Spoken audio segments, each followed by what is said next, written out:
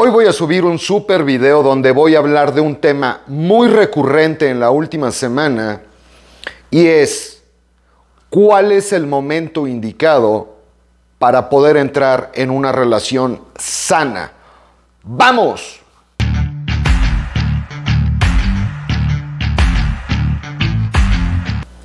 Tuve varias consultorías últimamente donde se fue repitiendo y repitiendo y repitiendo el tema que quiero abordar el día de hoy, que desde mi punto de vista es súper importante y muchos hombres no lo toman en cuenta y por no tomarlo en cuenta terminan devastados. Hace aproximadamente dos semanas me contactó un hombre para tener una consultoría porque quería entrar en una relación con una chica que le atraía demasiado y que desde mi punto de vista él no estaba preparado para entrar en una relación. Y me dijo, no Alejandro, eh, yo lo que necesito es entrar en esta relación y aprender a cómo comportarme como un alfa dentro de la relación. Yo después de haber platicado con él, le dije que no lo veía con la suficiente fortaleza emocional para poder estar resolviendo de manera correcta las pruebas de congruencia y que cada vez que tuviera una prueba de congruencia que no pasara de manera correcta, su nivel de autoestima y su autoconcepto iban a ir bajando.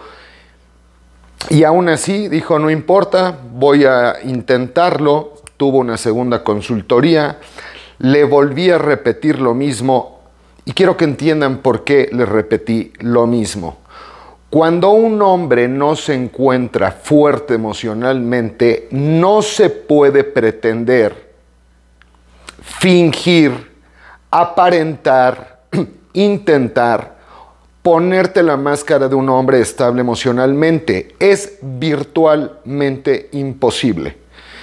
Si tú conoces a un hombre sumamente inseguro, sumamente inestable emocionalmente, y le dices, bueno, ve a conocer a esta chica que está ahí en el restaurante, pero nada más por este momento, hazte el seguro. ¿Creen que va a poder? ¿Creen que un hombre inseguro puede pretender actuar como un hombre seguro? Pretender sí puede, pero hacerlo como un hombre seguro no va a poder. El problema de entrar en una relación cuando no tienes la suficiente fortaleza emocional es que las pruebas de congruencia te van a ir debilitando. Y cada vez vas a demostrar rasgos mucho menos atractivos, hablando de carácter, personalidad y comportamiento, siendo más claros. Un hombre inseguro dentro de una relación se vuelve mucho más inseguro un, hombre débil emocionalmente dentro de una relación se vuelve mucho más débil emocionalmente. Un hombre celoso dentro de una relación se vuelve mucho más celoso. Un hombre que se pone nervioso dentro de una relación se va a poner mucho más nervioso. Y esto va a ir empeorando paulatinamente hasta que va a llegar el momento de donde la mujer se va a ir porque los rasgos de carácter, personalidad y comportamiento no están siendo lo suficientemente masculinos para que la atracción se mantenga y como se encuentran en un estado de debilidad emocional, les van a romper el corazón. Bueno, se lo están rompiendo ellos. Ahora, ¿cuál es el momento correcto para entrar en una relación sana? Yo postulo dos posiciones que desde mi particular punto de vista te van a poder garantizar que puedas entrar en una relación de largo plazo, constructiva, propositiva, edificante, donde a través de la relación y a través de la energía nutricia de la mujer vas a evolucionar de manera más pronta, rápida y orgánica de lo que lo harías de manera aislada. ¿Cuáles son las dos anclas a las que yo me refiero? Punto número uno.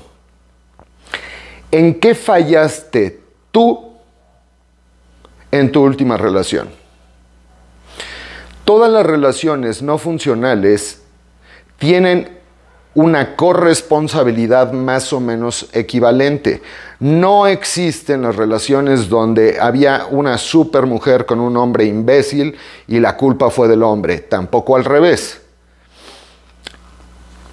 Generalmente en una relación no funcional hay una corresponsabilidad porque se tienden a compartir los vacíos o necesidades emocionales buscando que la otra persona los solvente. Si de tu última relación ya te diste cuenta, si fuiste débil, celoso, eh, demasiado complaciente, demasiado disponible, con falta de sentido del humor, poca dirección a propósito de vida, poco sexual, abandonaste tus hobbies, eh, te saliste de tu marco, bueno, ya por lo menos sabes cuáles son las áreas de oportunidad a corregir para que no se repitan en la siguiente relación. Porque si nos ponemos a pensar que la culpa de que la relación no funcionara fue de la otra persona y no nos damos cuenta cuál fue nuestra corresponsabilidad, en términos de en qué debo de evolucionar yo para que los patrones conductuales no se repitan, se van a repetir. Y punto número dos, y súper importante, tienes una vida completa y totalmente apasionante por ti y para ti sin pareja, si la respuesta es sí, tengo una vida que me apasiona, amo mi vida, disfruto mi vida, tengo hobbies, estoy creciendo, estoy evolucionando, tengo una vida social activa. Es decir, sin pareja, mi vida es extraordinaria. En ese momento estás listo para entrar en una relación. Ahora, otra cosa que he visto y nos pasa mucho a Raulito Show y a mí dentro del taller que damos de masculinidad y seducción, es que estamos viendo que la gran mayoría de hombres que no podían tener citas y que no podían concretar el escalar de manera correcta dentro de sus interacciones, cuando empiezan a aprender a hacer las cosas de manera correcta, se van de bruces y creen que ya tienen al amor de su vida enfrente. Y ese es uno de los errores más caros que puede haber y te voy a explicar por qué. Imagínate que nunca has trabajado y que nunca has tenido un auto. O que el único auto que tuviste fue un auto que te dieron pero que estaba hecho pedazos. Y en cierto momento tú empiezas a generar dinero, a ahorrar dinero, a invertir y empiezas a tener una cantidad.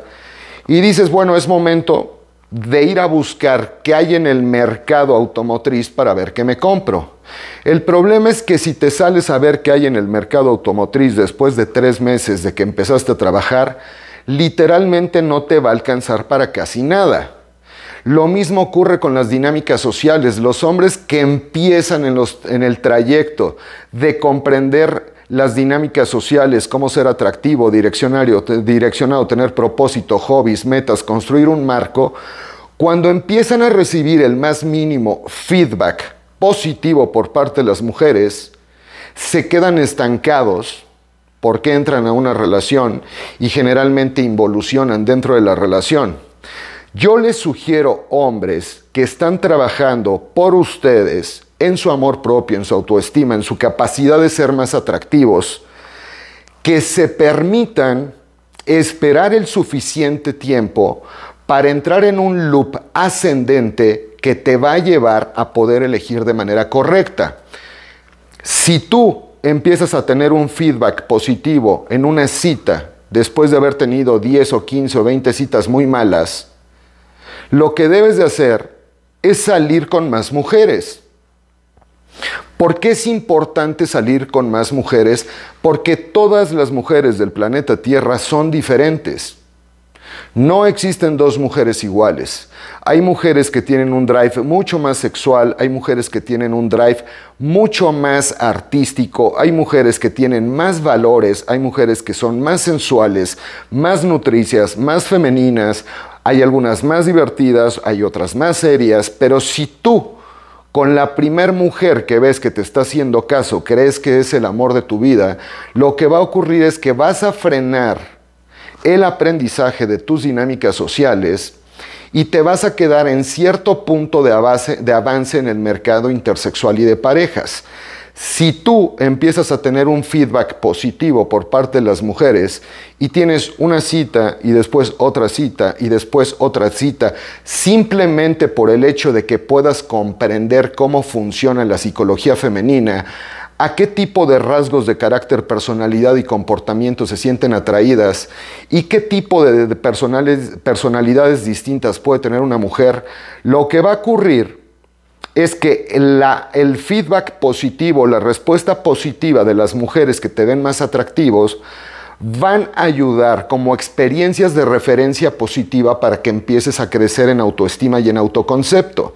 En ese sentido, si tú empiezas a salir con mujeres que medianamente te gustan y empiezas a recibir una retroalimentación positiva y empiezan a divertirse contigo y te empiezan a escribir y cuando nos volvemos a ver, lo que va a ocurrir es que las experiencias de referencia positivas van a generar emociones que van a ir cambiando tu estado del ser. Recordemos que el estado del ser está compuesto por cómo pienso, cómo siento y cómo actúo. Si tú cambias tu manera de pensar de no soy atractivo, así soy atractivo, tus emociones van a pasar de soy inseguro a soy seguro, de soy aburrido a soy divertido, de eh, estoy nervioso a estoy tranquilo, etcétera, etcétera, etcétera. Eso te va a llevar a tener conductas mucho más atractivas de forma natural.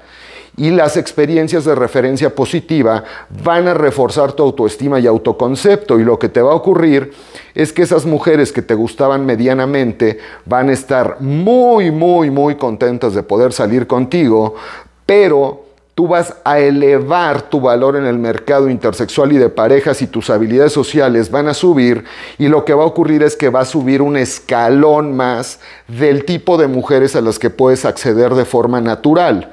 Si tú te sigues esperando, tus habilidades sociales van a subir, tu seguridad en ti mismo va a subir, tu capacidad de responder de manera eh, correcta las pruebas de congruencia porque te estás transformando en un hombre congruente que piensa que vale, que siente que vale y que actúa como un hombre de alto valor, te van a dar otras experiencias de referencia positiva. Y en ese sentido es como salir al mercado para buscar un automóvil cuando tenías primero 10 mil pesos mexicanos, luego 50 mil pesos mexicanos, luego 200 mil pesos mexicanos, luego un millón de pesos mexicanos y te vas a dar cuenta que al principio te alcanzaba para un Suro o para un Chevy y después te va a alcanzar para un Jetta o para un Accord y después te va a alcanzar para un Audi o para un Mercedes y te, te va a alcanzar para la que tú elijas desde la libertad, desde tener expectativas altas y elevadas pero hay un proceso de desarrollo.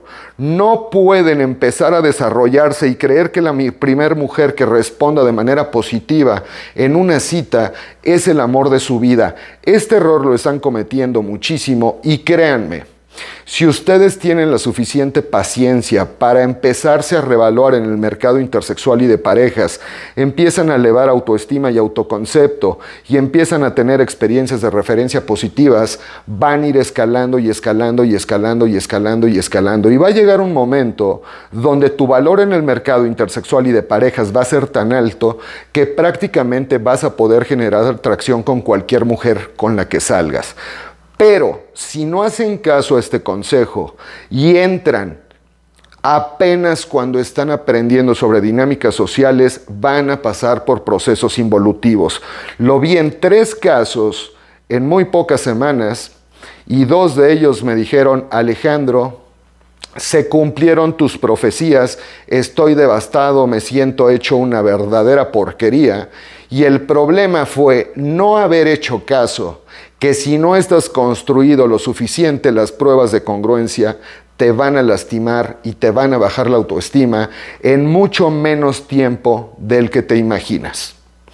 Por cierto, este viernes arranca el taller de masculinidad y seducción. El viernes pasado solamente vimos la cuestión de gestión de redes sociales y algunos puntos para que este viernes que inicia el temario todos puedan entrar. Y les tengo una noticia maravillosa. Hablé con Raulito Show y vamos a, mantener todas estas semanas del día viernes el 60% de descuento para que se puedan inscribir al taller de masculinidad y seducción que doy con mi brother Raulito Show, donde vamos a abordar todos los temas que requieren para que se vuelvan unos verdaderos cracks en habilidades sociales. Si te gustó este video, danos un like. Si crees que le puede aportar valor a alguien, compártelo. Pero sobre todo te pido que te suscribas a este canal porque voy a seguir subiendo contenido todos los días. Nos vemos muy pronto, crack.